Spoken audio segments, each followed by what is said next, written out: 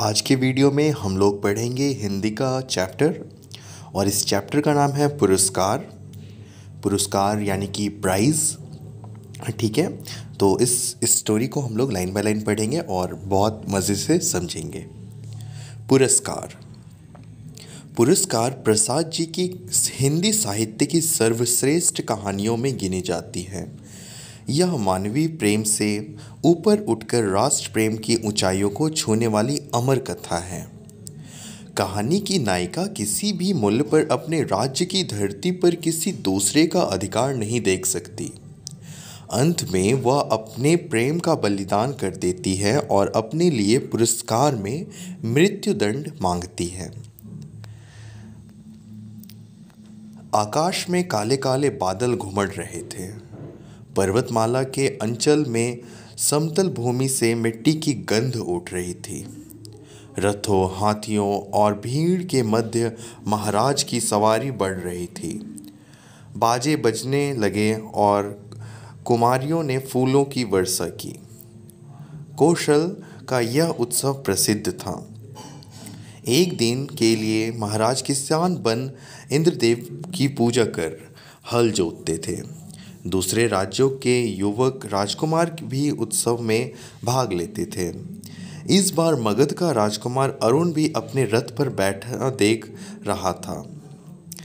बीजों की था, बीजों का थाल लिए खेत की स्वामिनी कुमारी मधुलिका महाराज के साथ थी। सब लोग महाराज का हल चलाना देख रहे थे और राजकुमार अरुण मद, अरुण मधुलिका को भोला सौंदर्य महाराज पर निछावर कर स्वर्ण मुद्राएँ बिखेर दी गई। मधुलिका ने कहा, देव, मेरे पितामहों की भूमि बेचने मेरे लिए अपराध है। वृद्ध मंत्री ने कहा, अबोध कर रही हो, कर रही है। राजा की कृपा का तिरस्कार। महाराज के संकेत पर मंत्री ने कहा, देव, वाराणसी के युद्ध के वीर सिंह मित्र की यह एकमात्र कन्या मधुलिका है। नियम के अनुसार हम इसे भूमि का चौगुना मूल्य दे रहे हैं। राजकुमार चुप रहे। सभा विसर्जित हुई। सब अपने अपने शिविर को लौट गए। मधुलिका वृक्ष वृक्ष की छाया में अनमनी सी चुप बैठी रही। वृक्ष यानी कि किसी मतलब बड़ा पेड़, ठीक है? उसकी छाया में, उसके नीचे। रात्रि उत्सव में अरुण ने भाग न लिया। उनकी आँखों में नींद न थी। अरुण ने देखा, रक्षक सो रहे हैं। वह उस वृक्ष के नीचे जा पहुँचे, जहाँ मधुलिका निद्रा का सुख ले रही थी। तो मधुलिका जो थी, वो उस बड़े से पेड़ के नीचे ही सो गई थी। कौन? मधुलिका चौक, मधुलिका ने चौंक कर पूछा। देवी, मैं मगध का राजकुमार। मैं तुम्हारे अनुग्रह की, का प्रार्थी हूँ। मेरा हृदय तुम्हारी छवि का दास बन गया है। मैं कौशल नरेश से तुम्हारी भूमि तुम्हें दिलवा दूँगा। नहीं, मैं राष्ट्र नियम नहीं बदलना चाहती। चाहे मुझे कितना ही दुख हो, मधुलिका उठकर चल दी राजकुमार लौट गया। मधुलिका ने राजा का अनुग्रह नहीं लिया। वह दूसरों के खेतों में काम करने, करती और कठोर परिश्रम के बदले जो सूखा अन्न मिलता, उसे खाकर अपनी झोपड़ी में पड़ी रहती। आसपास के किसान उसका आदर करते। इस तरह दिन, सप्ताह, महीने और वर्ष बीतने लगे। मधुलिका बीते क्षणों को याद कर रही थी। अत्यधिक गरीबी ने उसे और अधीर और अधीर कर दिया था। बाहर वर्षा ने भीषण रूप धारण कर लिया। गड़गड़ाहट बढ़ने लगी। मधुलिका अपनी टूटी फूटी झोपड़ी में काँप उठी। सहसा बाहर कुछ शब्द हुआ। कौन कौन है यहाँ, कौन है यहाँ? पाथिक को आश्चर्य आश्रय चाहिए। मधुलिका ने डंडियों से बना द्वार खोल दिया। बिजली चमक उठी। उसने देखा, एक पुरुष घोड़े पर सवार है। वह चिल्ला उठी, राजकुमार! मधुलिका आश्चर्य से युवक ने कहा, आश्चर्य से युवक ने कहा, तुम्हारी यह दशा? मधुलिका बोल उठी, और आज आपकी यह हालत? मैं मगध का विद्रोही निकाला गया, राजकुमार। कौशल में जीविका खोजने आया हूँ। स्वागत है। शीतकाल की कोहरे में घिरी चांदनी में बैठे अरुण और मधुलिका परस्पर बातें कर रहे थे। इतनी गरीबी में इत, इतने सैनिक साथ रखने की क्या आवश्यकता है? मैं अपने बाहुबल से नया राज्य बनाऊँगा। ओह तो तुम्हें तुम्हारा उत्साह कम नहीं हुआ? तुम्हारी इच्छा हो तो मैं प्राणों की बाजी लगाकर तुम्हें कौशल का सिंहासन पर अपनी रानी के रूप में बैठा दूँ। मधुलिका काँप उठी, क्यों? यह सत्य है मधुलिका। कौशल नरेश तुम्हारे लिए चिंतित है। वे तुम्हारी प्रार्थना अस्वीकार नहीं करेंगे। कौशल के सेनापति अधिकांश सैनिक लेकर दास्यो नाश के लिए बहुत दूर गए हुए हैं। अरुण ने समझाया, जो कहोगे वही करूँगा, मधुलिका ने कहा। कौशल नरेश के दरबार में आकर मधुलिका बोली, देव, तीन बरस हुए मेरी भूमि ले ली गई थी। ओह तो कितना मूल्य हो तो तो उसका मूल्य मांगने आई हो? नहीं नहीं, दक्षिणी नाले के समीप उतनी ही जंगली भूमि दे दें। मैं अपनी खेती वहीं करूँगी। वह भूमि वह भूमि उबड़ खाबड़ है पर दुर्ग के समीप होने से सैनिक महत्व रखती है। तो मैं लौट जाऊँ? सिंह मित्र की कन्या तुम नाराज़ नहीं लौटोगे। मैं मंत्री को पत्र दे, दे पत्र देने के आदेश देता हूँ। जय हो देव कहती हुई मधुलिका राजमंदिर से बाहर आई।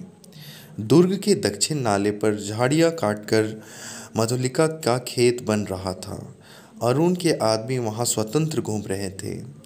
एक दिन अरुण ने कहा, आज रात के तीसरे पहर मेरी विजय यात्रा होगी। मैं मगध का राजा बनूँगा। आज रात झोपड़ी में बिताओ।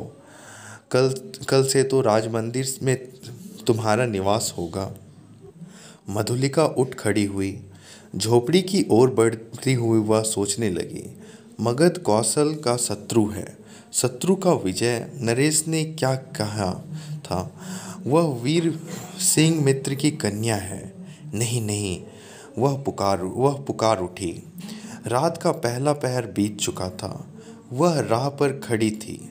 लगभग सौ अश्वारोही चल, चले आ रहे थे। अश्वारोही मतलब होता है वैसे लोग जो घोड़े पे तो घोड़े पे जो सैनिक थे, वो आ रहे थे।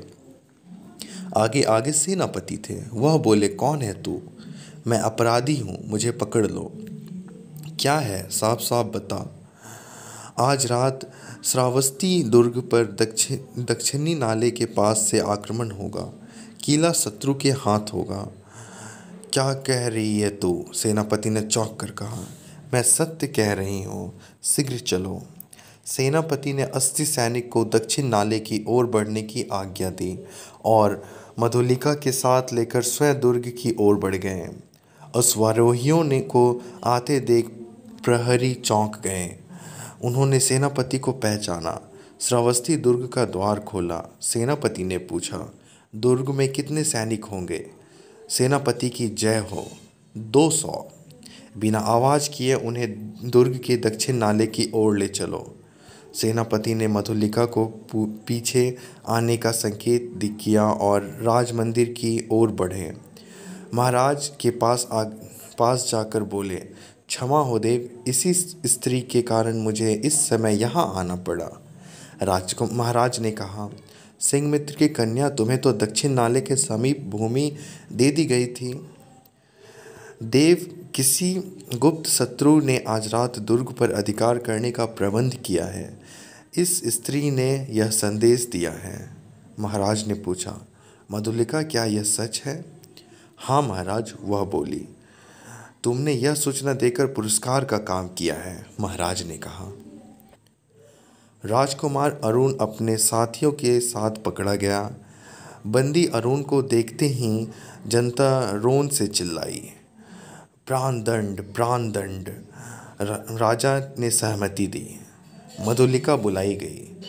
तुम्हें जो पुरस्कार लेना है, मांग लो, वह चुप रही। राजा ने कहा मेरी अपनी जितनी खेती है, मैं सब तुम्हें देता हूँ। मधुलिका ने बंदी अरुण की ओर देखा और कहा, मुझे कुछ नहीं चाहिए। अरुण हंस पड़ा। राजा ने कहा, नहीं, मैं तुम्हें अवश्य दूँगा। मांगो लो। तो मुझे ही, मुझे भी प्राण दंड मिले। कहती हुई वह बंदी अरुण के पास जा खड़ी हुई। तो ये था पूरा एक स्टोरी और ये काफ़ी इंटरेस्टिंग और बहुत कुछ सीखने वाली स्टोरी थी ये। आई होप आपको भी ये स्टोरी पसंद आया होगा। मैं मिलता हूँ आपसे अब नेक्स्ट वीडियो में एक नई स्टोरी के साथ। ठीक है? Thank you so much for watching this video